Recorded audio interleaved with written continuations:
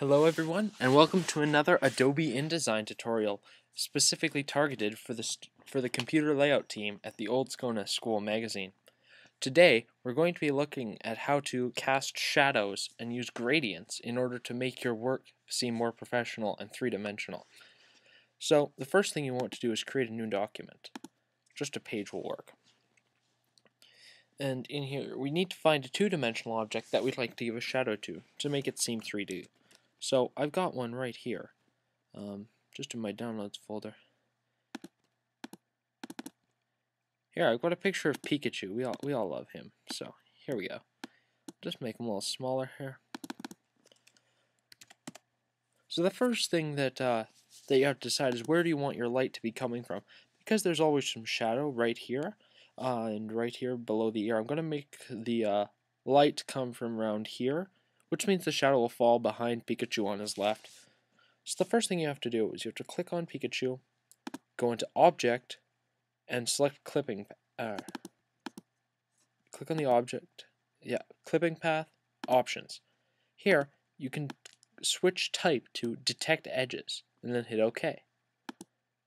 Now you see that Pikachu himself has been selected, even though the image itself was originally just a square, or a rectangle.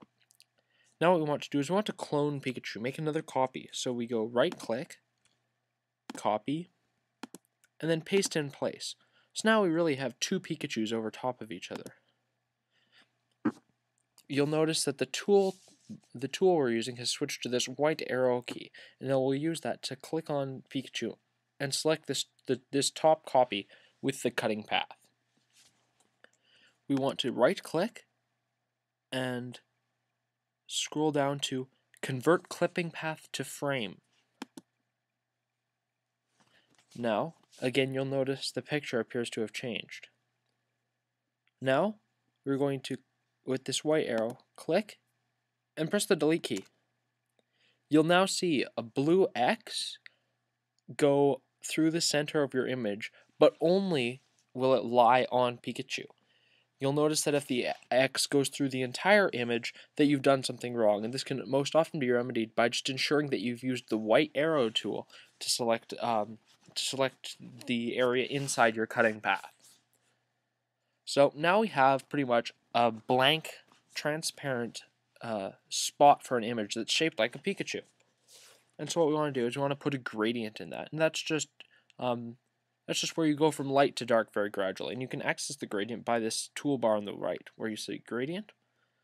There are two types of gradient. A linear gradient, which is what we'll, we'll be using, where it progresses straight from a white, or in this case white, through a gray to a black, with all areas going straight from one color to another.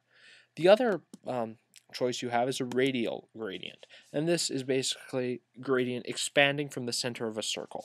For shadows, we mostly want linear, so that's what we're going to use. Here, you can customize how, how to work with your gradient. You can make um, you can switch the endpoints as well as switch where the uh, where the color change mostly occurs. Shadows are start dark but then usually get quite light, but they do get gray, so we'll just move, maneuver this around a bit. So something like that. Once you're satisfied, what you can do is click on the gradient preview bar and then drag it onto your image. You'll now notice that Pikachu has become a gradient. But remember, we copied Pikachu, there's, so there's still a normal image right behind that. So we're okay. However, not all shadows look like that, with a gradient going from left to right. So what we want to do is to go into the left toolbar and select the gradient tool. This allows us to drag an imaginary line over our gradient and then change the direction or the flow of the gradient. For example, you can change it simply by dragging. You'll notice that wherever your line ends up is where the darkest part of the gradient will be.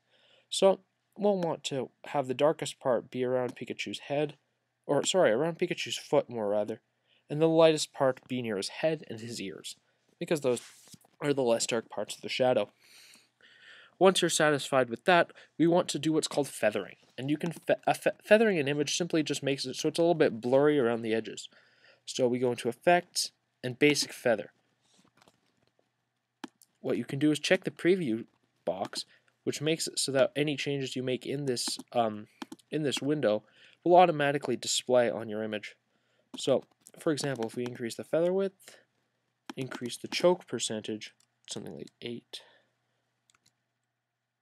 and any noise if you want, and ensure that corners are diffused, then you'll see, you'll start to see outlines of Pikachu. And that's exactly what we want, because most often, the shadow we want to create isn't going to be larger than the object itself.